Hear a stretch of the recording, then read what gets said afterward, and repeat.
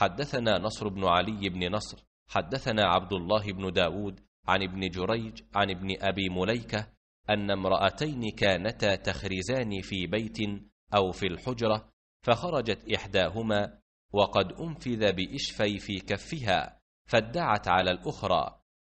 فرفع إلى ابن عباس فقال ابن عباس قال رسول الله صلى الله عليه وسلم لو يعطى الناس بدعواهم لذهب دماء قوم وأموالهم ذكروها بالله واقرأوا عليها إن الذين يشترون بعهد الله فذكروها فاعترفت. فقال ابن عباس قال النبي صلى الله عليه وسلم اليمين على المدعى عليه.